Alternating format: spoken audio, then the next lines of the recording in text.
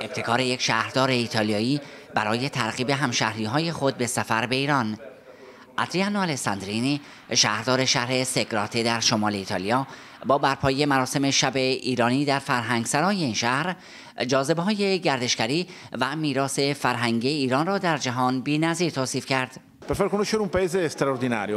قصد من از این ابتکار عمل معرفی جاذبه های فوق‌العاده دیدنی و زیبای ایرانه که تاریخ چند هزار ساله داره و سابقه فرهنگی اون از ایتالیا هم بیشتره.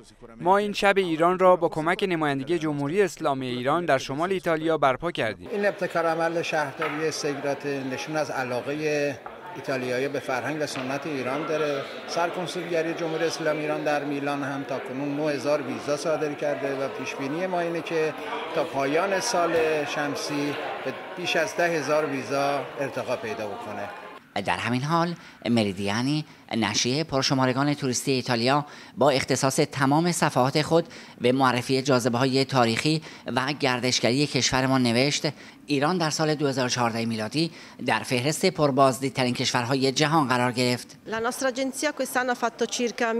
آژانس ما در یک سال گذشته نزدیک به 1500 گردشگر ایتالیایی را به ایران فرستاد. سال 2014 میلادی برای ما در ارتباط با ایران یک سال عالی بود و پیش بینی می کنیم که سال 2015 نیز به نتایج مشابهی برسیم. در پایان مراسم از میهمانان با غذاهای ایرانی پذیرایی شد. حمید معصومی نژاد صدا سیمای جمهوری اسلامی ایران شهر سگرات ایتالیا